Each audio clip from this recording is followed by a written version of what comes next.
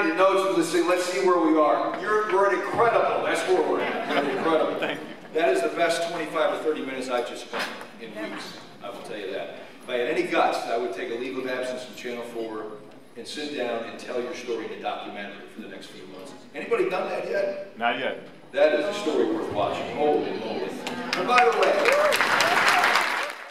so today it is such a joy to have with me one of the most inspirational people I have ever, ever met.